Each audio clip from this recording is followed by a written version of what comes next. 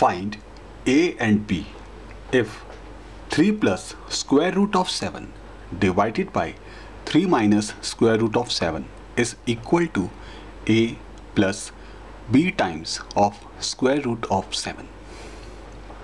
Consider the fraction 3 plus square root of 7 divided by 3 minus square root of 7. This is a fraction with irrational denominator. So in order to rationalize it, we will have to multiply the numerator and denominator both with 3 plus square root of 7. By doing so, we will get 3 plus square root of 7 whole square in the numerator and in the denominator we will have multiplication of 3 minus square root of 7 and 3 plus square root of 7.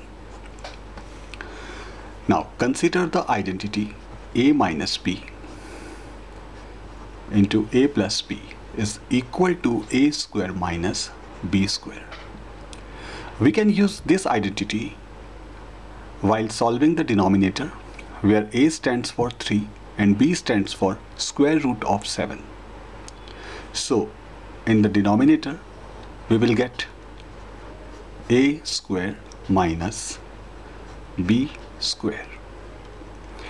Numerator is of the form a plus b whole square. We can use identity a plus b whole square is equal to a square plus b square plus twice of ab. Here a stands for 3 and b stands for square root of 7. So numerator can be expressed as a square plus b square plus twice of a multiplied by b. So further we can simplify it as 3 square is 9 square of square root of 7 it is 7 itself and 2 3 is 6 6 times square root 7 it is all about the numerator denominator it is 3 square 9 minus negative sign. Square of square root of 7 once again it is 7 9 plus 7 is 16 6 root 7 then 9 minus 7 is 2 we know that 16 it can be written as 2 multiplied by 8 and plus 6 is plus 2 multiplied by 3 then square root 7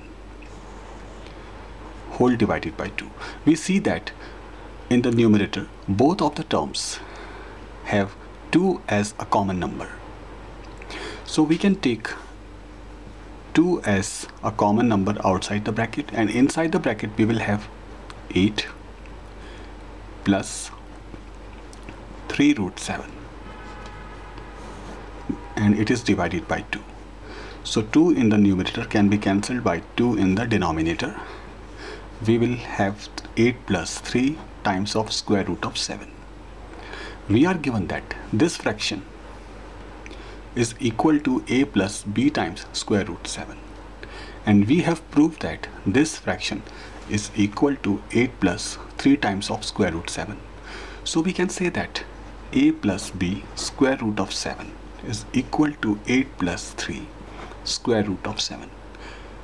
So on comparing these two terms we come to know that a must be equal to 8 and value of b is 3.